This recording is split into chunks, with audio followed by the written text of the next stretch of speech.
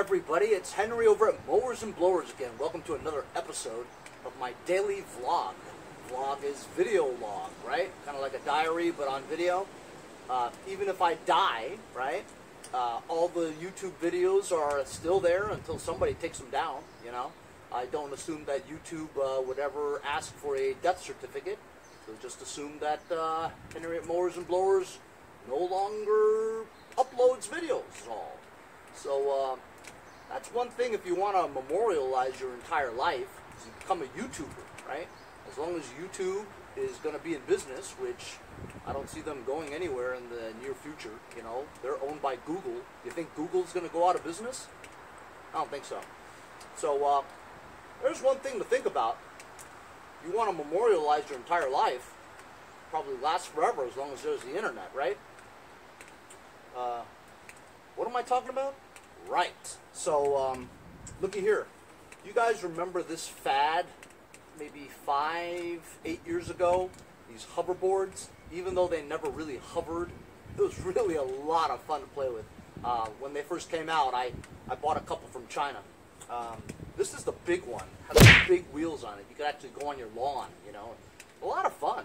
I played with it for like a year with my kids and stuff, but then uh, it's just been sitting in my house, you know. Uh, still works great, you know, and uh, those batteries exploding and catching fire and burning your house down, it's just a farce. These are from China, you know. And then they said, oh, you should buy the ones from America. They're all from China, okay? They just sell them here in America. Duh.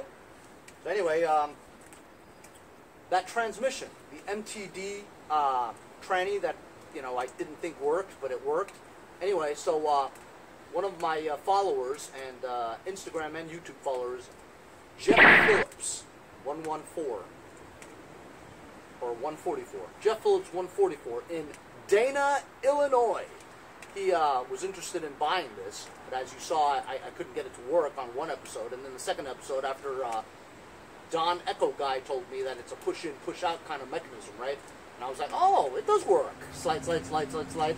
So uh, forward and reverse, I, you know, you can't get the precise clicks without the shifter. You know what I'm saying? So it has to be actually on the tractor with the shifter on for you to do the precise clicks, right? But if you're just using, you know, force with your with your hand and the pliers and you're pushing it in, pushing it out, you're just going to be able to kind of just go one in, one out. But you can hear it click, click, click, click, click, click, click, click like that pretty easily. So I think it works. You know.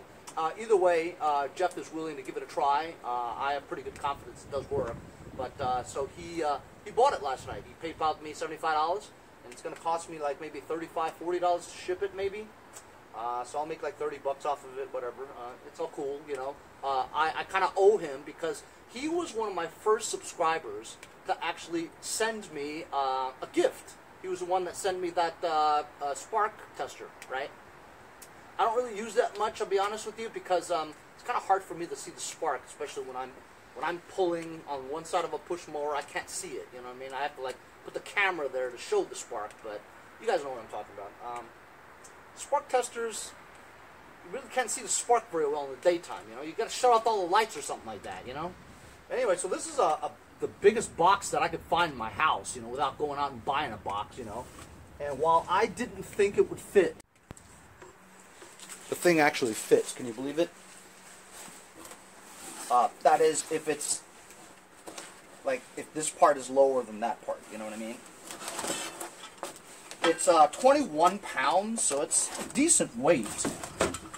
I guess if I put it this way, it'll be pretty cool. But it's like perfect, you know, when you go from when you go diagonal corner to corner, right? And then I've got this uh, insulation from the you know from the hoverboard itself. And look at that, there's a hole here, so I could actually like put, put the pulley in the hole. That's kind of cool. That's kind of cool. All right, so that'll hold it pretty well, and I'll just throw like newspaper and cardboard in there, insulate it, um, package it up, and maybe I'll use USPS or maybe I'll use, uh, you know, UPS, whichever is cheaper, you know. Um, you know, I really don't want to say this, but I'll say it anyway. You know, if you guys send stuff, right? Um, you could try media mail. Even though media mail is really restricted to just like you know, uh, documents, posters, um, media, you know, like DVDs, CDs, that kind of thing. It's really cheap. It takes like 10 days, but, you know, it's really cheap, you know? And you could put like as much weight as you want to, because they're expecting you to, you know, put like books in there, you know, like a big box of books. That's really cheap. But um, my mailman tells me that they don't really check. You know what I mean? They don't put it through an X-ray machine or anything, so they don't know what's in the box. So you can kind of just like lie and say it's media mail when it's not, you know.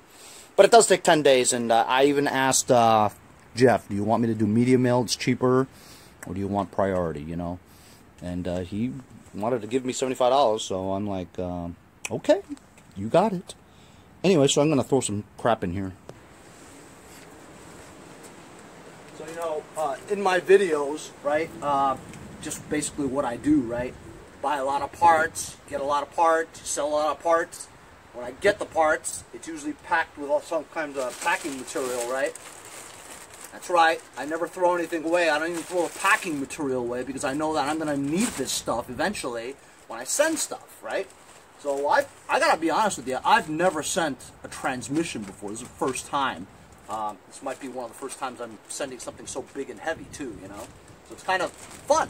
You know, it's like uh, a reverse unboxing. You know, it's like a reverse Christmas. Instead of, you know, I could be like a, a Santa elf. You know, I'm helping. You know, I'm packing stuff to send out. So you know, you got these bubble things, right? You got a lot of this stuff here. Look, I, I ordered like a motor or something like that. Uh, I don't remember what it was. It might have been starter. It was in a uh, it was a car starter. It was a starter for one of my cars, whatever. And so they actually make these uh, little things. They're they they inject foam into these bags so that it fits over exactly molded into the part. Very cool. So I, I thought that was cool. I saved it so I knew I would need it someday. You know. I'm gonna try and stuff all this stuff in there nicely for Jeff Phillips, 144 of Dana, Illinois. I don't know, man. I think that's pretty good, you know? Pretty solid.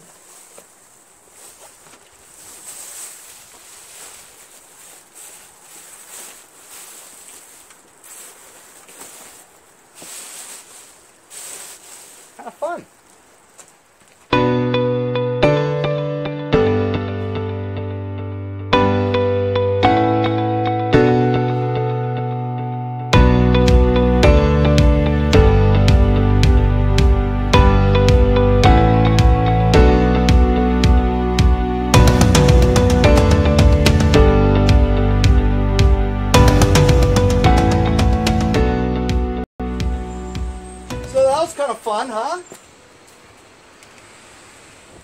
So I just got a text message from Jeff, and he goes, "You know, Henry, never mind. I don't really want it."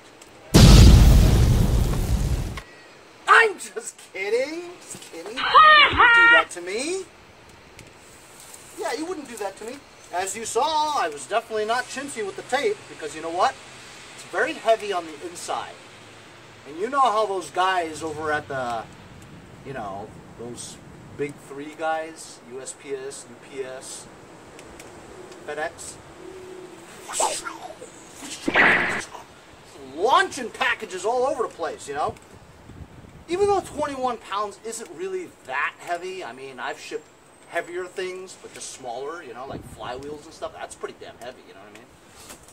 But this is insulated pretty well, and I wanted to make sure that uh, the thing was completely encased in, in a packing tape. You know what I mean?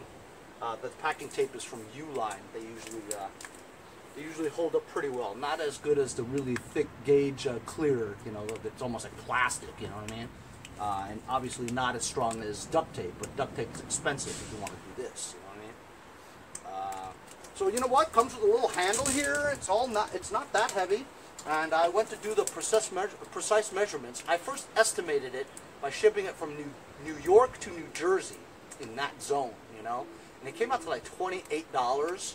So that wasn't too bad, and that's what I told Jeff. But I just went and measured again, uh, not measured, but plugged in his actual address in uh, Dana, Illinois. Man, it was like $47 with uh, USPS, you know?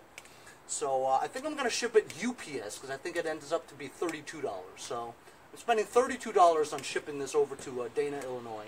But it's all good because he gave me 75. I'm, I'm cool with 40 bucks, whatever. It's fine, you know. Um, I was going to sell it locally here for 30 or 40 bucks anyway, you know. But uh, yeah, all right. So Jeff, it's headed on over to you, boy. Uh, I'm gonna I'm gonna go bring this to UPS later, and uh, it should be on its way. Just taking care of some overspray here, covering up the yellow and painting this part black. Long as it, the, the pain in the butt about painting is the masking. That's what that's what takes a long time, you know. Fortunately, this quick color, it's mostly air, so it really works well with without really masking too much because it won't really cover all that much, you know.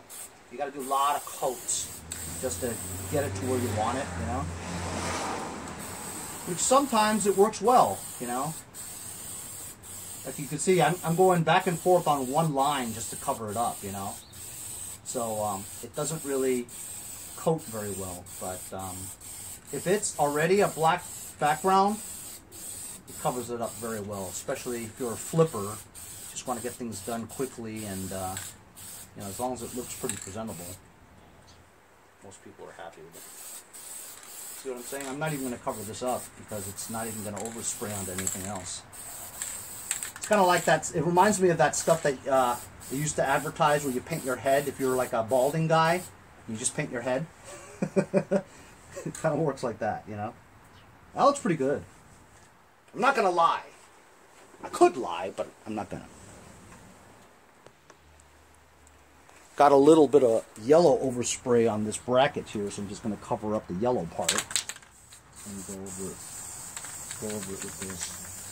See? See how much it takes just to cover it up? A lot. It's mostly air.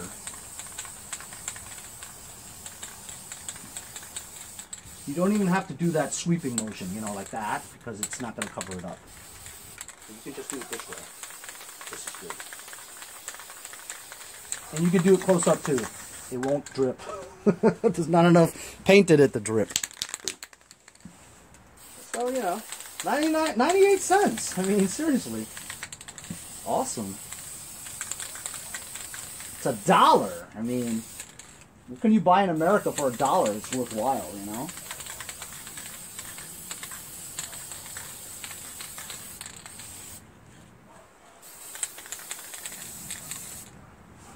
That's pretty good.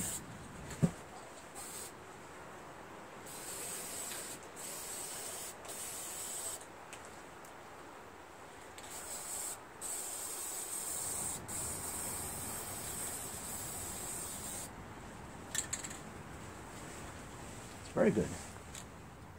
Coolidge.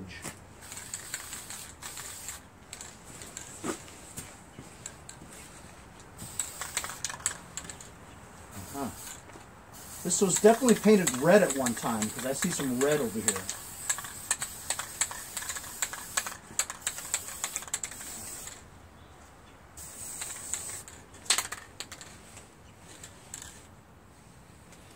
Ninety-eight cents. Quick color, black. They only come in black and white at your local Home Depot.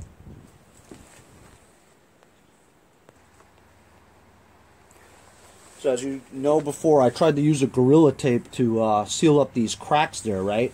But um, because I had put ATF on it to make it shine, it was kind of greasy. So I'm going to use some uh, brake cleaner from my friends at Lucas Oil. Spray some over here and just get the greasiness off. And then uh, once it dries, I'm to give um, I'm to give that Gorilla Tape a try again so I can finally seal up these cracks over here, you know. So you can't have a pretty decent looking tractor now. Cracks in the seat, you know. Albeit these, this seat is pretty good. I mean, it's a high back, you know. Just a couple of cracks is all, but uh, it's a decent seat, you know. Very good seat actually. So um, I feel pretty good about it after all. I mean, I had a little bit of buyer's remorse when I bought this for forty dollars. You guys know I don't pay for anything. I really don't want to, but I thought it was a pretty good deal at the time. Um, you know, looking back at it, I guess it's a decent deal anyway. You know, for a pretty decent tractor, good seat, good hood. You know. So you know, I just it was only this this crack and this crack really, small little thing here, that's not too much to worry about. Just one crack here and one crack here.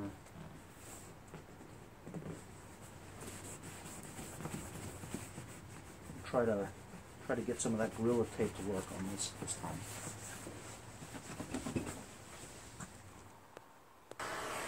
So I've got that Gorilla Tape on there. It looks pretty good. Um, but Nick from Medford told me to use a blowtorch and kind of heat it up a little bit and it'll stick better. I don't want to burn the seat, so it's just a slight heat coating. Almost like shrink wrapping it or melting the, you know, warming up the adhesive so it sticks better. I don't know, man. I'll try it, but uh, you kind of look at the, you kind of see the heat, how it's, how it's affecting the tape, you know. That that's pretty cool. You just got to be careful. That's all.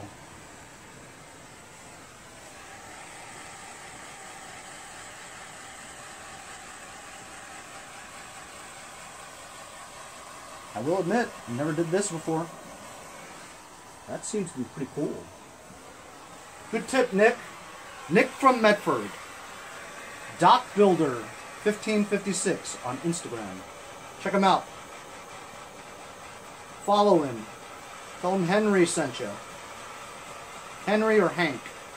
By the way, just for shits and giggles, I started a YouTube channel for Hank, the Asian Redneck. I have 13 subscribers right now. Woohoo! Uh, it's basically, it's never going to be monetized. So, um, I actually, yesterday's video with Marty the Robot, because I went to Home Depot, right? Home Depot plays a lot of music on their loudspeaker, you know, the PA system, whatever and uh, they were playing a Van Morrison song in the background. And um, Van Morrison is a Warner Brothers music artist, you know, so that's the copyright. So they blocked my video from being uploaded. So I had to go, I had to go back into my editing and take out the part where I tour Home Depot for snow blowers and lawnmowers and weed whackers and blowers and chainsaws, all that stuff, right? I had to take that part out Otherwise, I couldn't I couldn't upload my video yesterday about Marty the robot. So Home Depot's a pain in the ass like that. So I just took that part because I already made it. I didn't want to waste it and just delete it. So I put it on Hank the Asian Rednecks channel. So if you guys have a chance, just for shits and giggles, go check it out. Subscribe. Maybe I'll get more than 13 subscribers to Hank the Asian Redneck. Just search uh, Hank Asian Redneck. You'll find him you see a couple of videos on there. So I guess that, that's where I'm going to put my uh, content that I'm not allowed to show on uh, my Mowers and Blowers channel. So you know what? That looks pretty good, man. Uh, thanks for the tip, Nick. Uh, blow torching Gorilla Tape on your uh, seat to make it stick better in the winter. That's pretty cool. I need to get one of those push button things, you know, when you click it, and because this one I still need to flint it, you know. So that looks pretty good. I know you guys can't see too well because the thing about videotaping, uh, or, you know, videography, right? Because the inside of the garage is so dark and the outside is so bright, when the camera's pointed towards the brightness, you can't see what's here. So if this was flipped the other way around, it'd be really clear, unless I go really close. Okay, so I got it all worked out. Put the control panel for the shifter back on. Also, it had an LT1000 handle, right? So I knew that didn't belong there because it pulled right off. I had an old MTD one, so that fits on there really nicely. So guess what, fellers? I'm going to drive this out of the garage now. That's right, here at Mowers and Blowers. You push them into the garage with no engine, and they come out driving.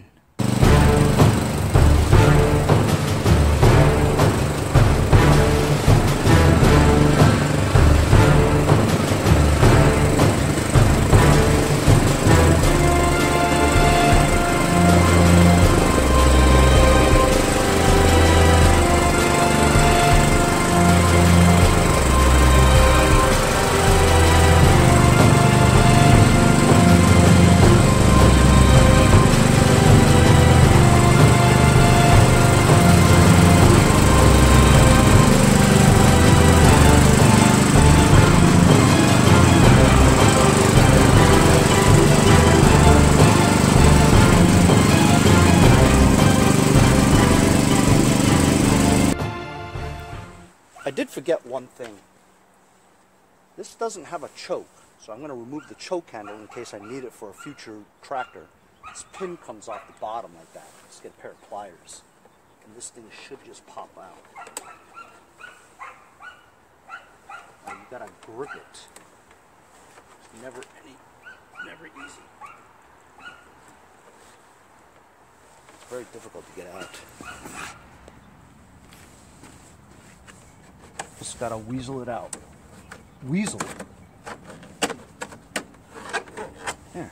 Perfectly good choke cable that I might need for some future tractor.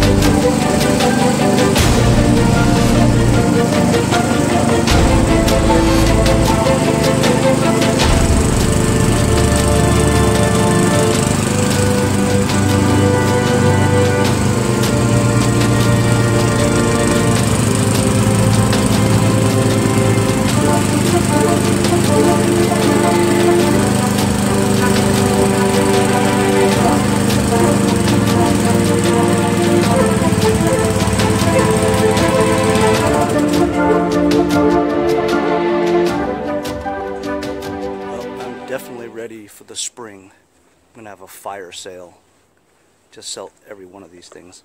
I need to bring this uh, Poulan Pro back into the garage for a little bit of a black paint job here.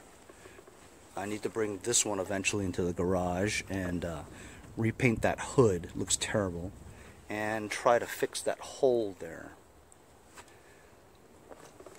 This one's ready to go. Honestly, I didn't think that um, it was really worth it to go through all that trouble, you know, to paint it. I mean, it looks better, but still doesn't look that great, you know.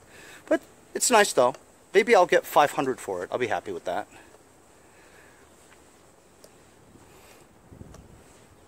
This one now runs because I did a gravity feed fuel tank. Rodimus Prime. Head scratcher engine. 14 episode LT1000. Next move, I'm going to be taking that uh, Murray apart. It's going to be a teardown. Because uh, honestly, there's no engine, there's no hood, there's no seat, and most importantly, there's no deck. If there's no deck, who's buying it? Except a bunch of silly kids wanting to make it a mud mower. And here in Long Island, they don't really do that that much.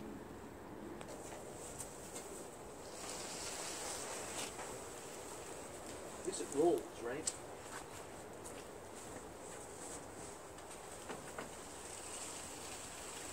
rolls really nice actually, because I don't think they have any. There's not any keyways in, in the. Uh, there's no keys in the keyways. It's just freewheel.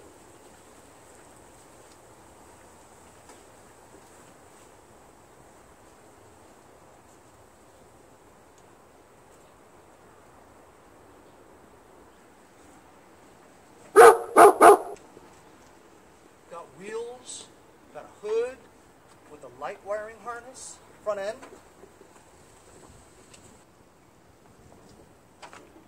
Got a good transmission, I think. Steering wheel, high adjustment levers, foot pads,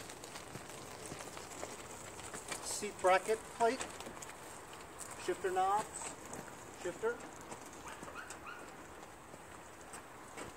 Don't scratch the car, Henry.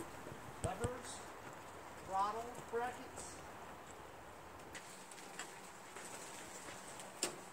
deck hangers, rods, brake rod, pulleys, springs. Some nut on eBay will want them. That's right.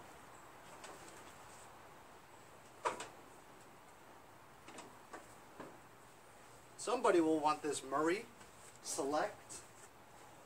Ooh. An R clip. My YouTube channel filled with non-stop projects. You push them into the garage, they come out running. It may take me a long time, but I get them all for free. Well, actually, that one I paid 40. That's okay. So my next episode will be tearing down this Murray Select uh, lawn tractor that I got from uh, Brian, locally here in Huntington, who got it from Jason Pate of Pate's Performance. It was his dad's. Uh, it actually has a um, 13 horsepower flathead engine in here. The valve guides are worn or missing, and they move laterally. So my friend Five Speed Ash over in Lindenhurst, he says he has a uh, good uh, block with the valves intact. So all I need to do is just take this one apart, put the good ones onto that block, and maybe I'll have another engine.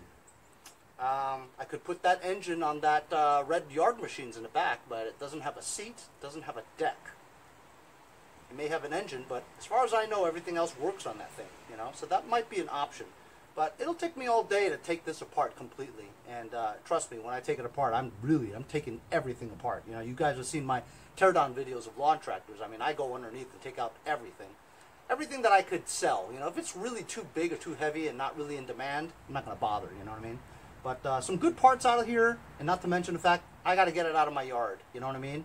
As you can see in my backyard, there's really no place to park anything back there anymore without it looking like Sanford and Sons. Not that that's bad, but uh, thanks a lot for following me along on today's episode. Um, we basically got to drive that uh, MTD Cub Cadet uh, Franken mower out of here. Running, driving, mowing, lights work, looks great. 500 bucks maybe in the spring, maybe more. Who knows? Depends on how good of a salesman I am, right? I'll see you guys next time on Mowers and Blowers. Mailbag. I haven't had a mailbag in a while. This is from uh, Dr. Pepper. I'll tell you why I have something from Dr. Pepper. So uh, I like Dr. Pepper a lot. I'm a Diet Coke kind of guy, but then I went to Coke Zero. But then I've always known that Dr. Pepper always tasted great, but I wasn't sure about their diet. So I tried the diet. I think I think Diet Dr. Pepper is the best drink in the world. On a, on a nice hot day, an ice cold can of Diet Dr. Pepper.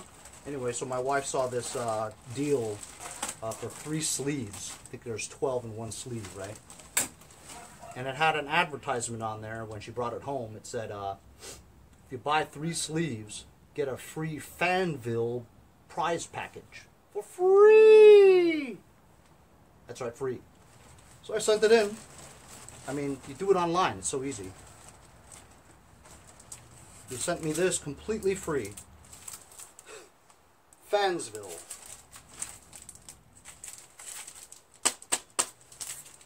Is it a magnet? I don't even know. I don't even know.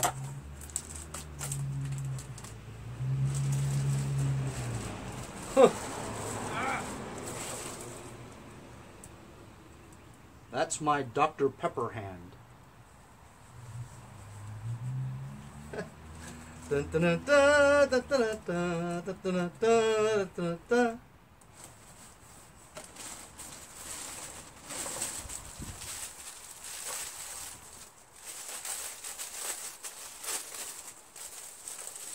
Free, okay?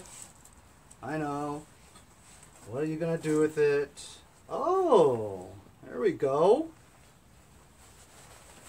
Huh? Barbecuing for the summer? Koozie?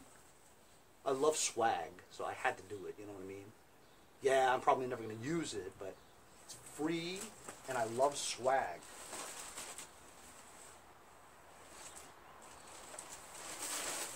Uh, the kids like this. They're, you know, drawstring backpacks, you know what I'm saying? You see the kids with them, you you know, when they go out with their friends, walking around town, whatever. They don't want to carry all too much. They don't want to wear a fanny pack because it's. I think this is kind of gay too. Whatever. It's canvas. That's it. But, uh, you know, it's cool. And it's free.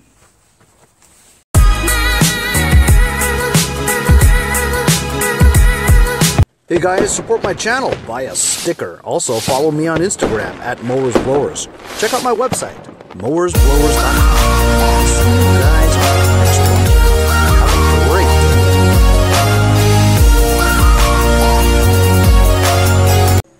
Hey guys, Boba and I want to thank you for all the support of Mowers and Blowers. If you'd like, make a short video clip like these, and I'll put it as an outro in my future videos. Hey y'all, it's Kiley here, and we'll see you next time on Mowers and Blowers.